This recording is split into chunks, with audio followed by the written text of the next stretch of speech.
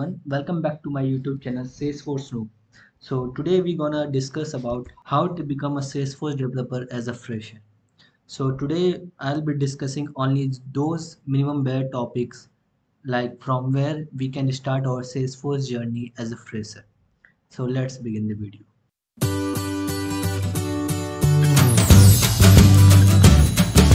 So the first thing which we need to keep in our mind that a good Salesforce developer is also a good Salesforce admin.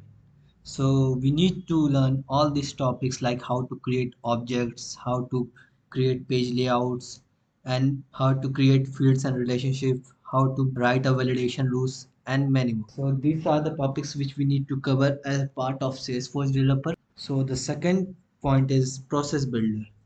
So basically process builder is just a point and click tool which is used for automating your ideas or logic, your business logic through a graphical representation. And what we can do with a process builder, like we can create or update records, we can send emails or many more.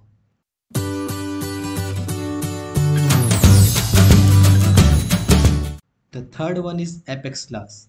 So Apex class is nothing but just a strongly typed object-oriented language which is developed by Salesforce for building software as a service or CRM.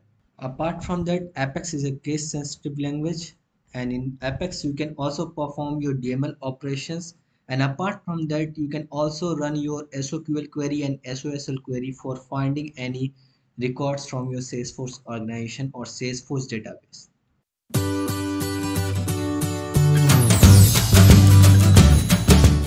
The fourth one is SOQL and SOSL. So SOQL is nothing just a structured object query language which is used to search your organization's data.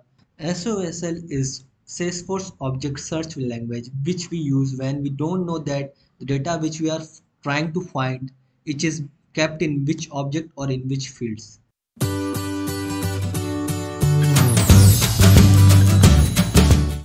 Apex triggers enable you to perform custom actions before or after event occurs to record in Salesforce, such as insertion, updates, or deletion.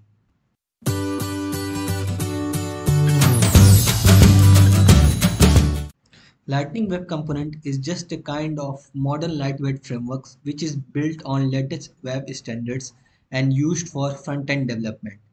The LWC component consists of three files of HTML, JavaScript and XML and you can also include CSS file and there is also one second framework which is used for front-end development in Salesforce Aura component. But believe me guys as a Salesforce fresher LWC is enough for front-end development because it provides lots of functionality, lots of modern things and nowadays most of the projects are being created on Lightning Web Components only.